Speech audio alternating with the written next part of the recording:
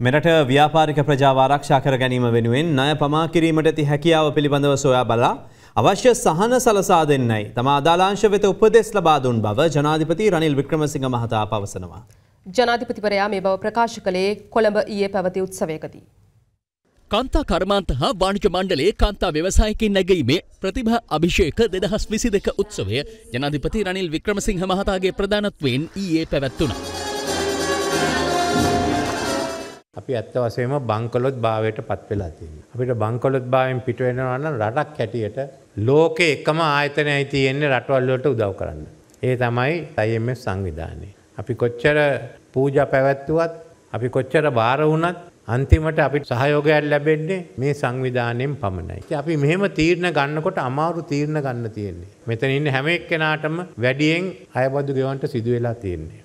සමහර අය පෙළපාලි යනවා. ඒ පෙළපාලි ගියාට මට ප්‍රශ්නයක් නැහැ. ඒත් අපිට විසඳුම මොකද්ද කියලා කියන්න ඕනේ.